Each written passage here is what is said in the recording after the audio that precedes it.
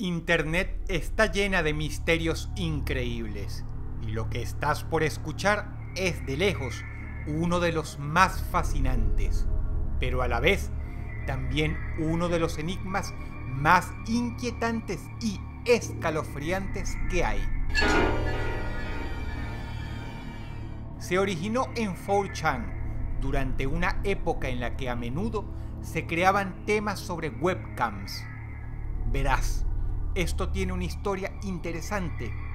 Alrededor del mundo hay personas que activan sus cámaras web y las dejan encendidas todo el día para que cualquier internauta que quiera curiosear en sus vidas lo haga. Hay sitios así a donde muchas personas extrañas no les importa hacer esto. Puedes verlos haciendo sus actividades diarias y a veces íntimas. Pero no te dejes engañar. Muchas veces, lejos de ser interesante, resulta aburrido.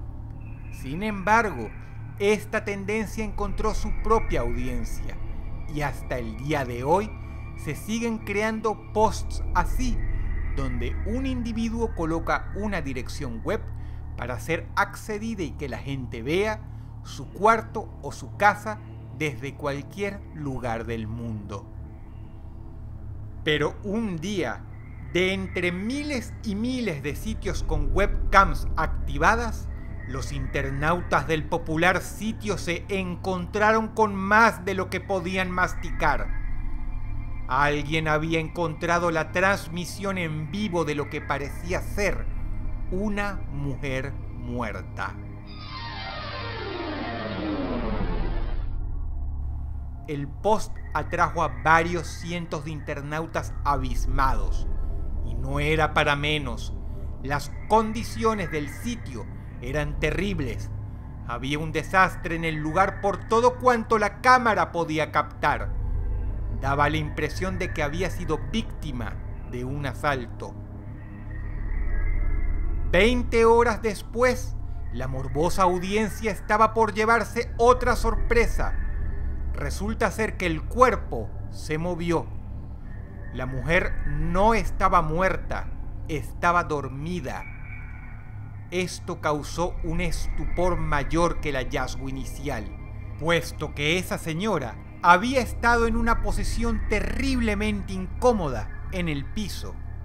Cuando ella se sentó y posteriormente se levantó, se pudo observar que era de origen asiático también se percataron que alrededor de su casa había no una, sino tres cámaras web activadas. Lo más horrible de este hecho apenas estaba comenzando. La audiencia del personaje pronto se percató de que una de las cámaras estaba posicionada frente a la entrada del hogar y esta se hallaba sellada premeditadamente por medio de un montón de objetos que impedían el paso, como si la mujer hubiese hecho un enorme esfuerzo por evitar que algo entrase. Rato después, al percatarse de que estaba siendo observada por un gran número de personas, comenzó a escribir letreros.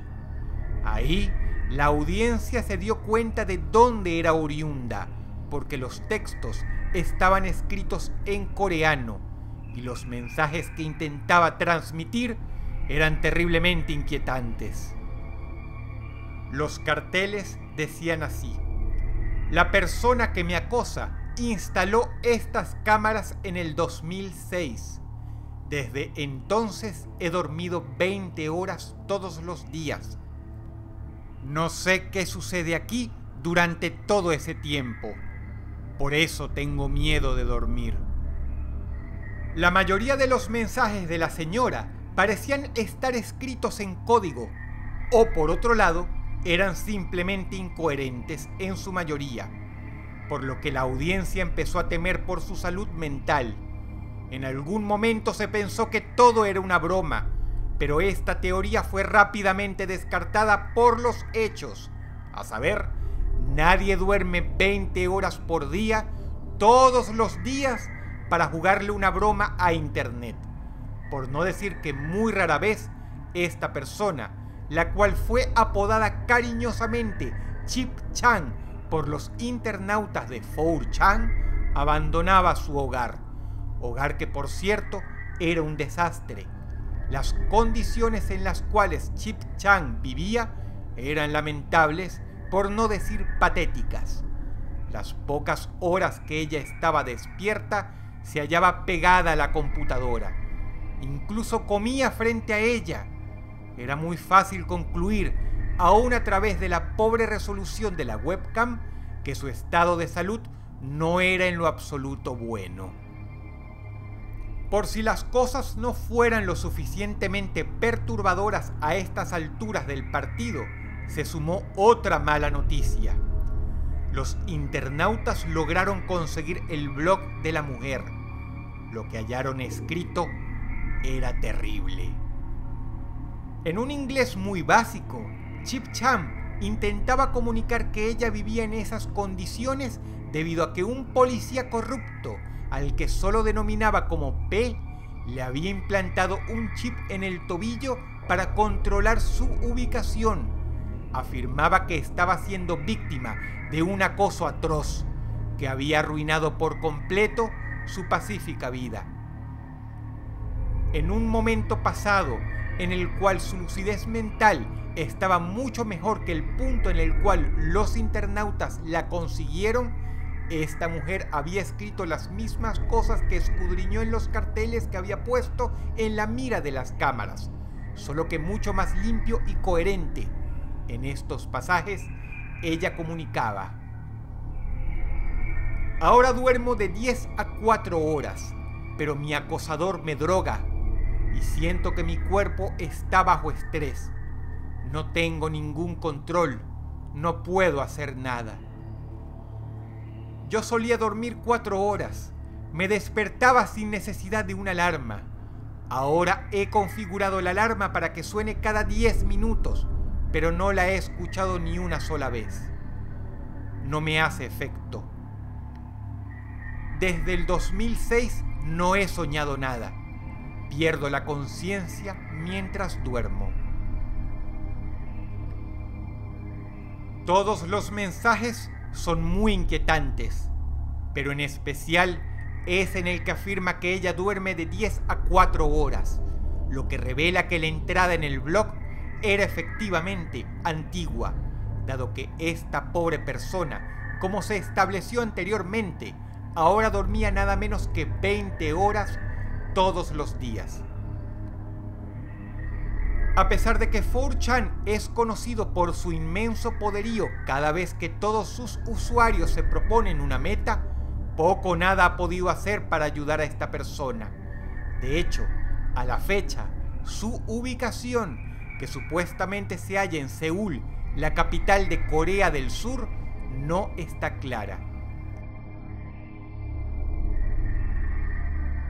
En poquísimas ocasiones, Chip Chan abandona su casa y sale al exterior, para regresar bien provisionada de alimentos. Es obvio que ella quiere evitar el mundo exterior. Huelga preguntar, ¿Cómo logra mantenerse económicamente? Es un misterio. Hay teorías, pero muy poco ha sido confirmado. Si ella come de sus ahorros, se tiene miedo de que pronto el dinero se agote, amén de las facturas de rentas, luz e internet. En un último esfuerzo por localizar a Chip Chang o a su temible verdugo, los internautas organizaron una comisión para que se comunicara con la policía de Seúl, más allá del riesgo que esto implicaba, pues la mujer denunciaba precisamente a un policía. Pero las autoridades replicaron que ya tenían conocimiento de esta persona y que se trataba solo de alguien con problemas mentales. Sea real la historia que cuenta Chip Chang o no, lo cierto es que es muy triste. El único consuelo es que si en verdad existe un tal señor P que ha atormentado la vida de esta mujer, ahora va a tener las cosas muy difíciles, pues una parte de Internet vigila la vida de su supuesta víctima a todo momento. Tú también lo puedes hacer si lo deseas. Abajo, en la descripción del video, está la dirección con el blog de Chip Chan y también el lugar donde ella transmite en vivo por medio de sus cámaras web. Quizá captes algo que otras personas no. Si el video te gustó, por favor dale pulgar arriba y compártelo con tus amigos de YouTube.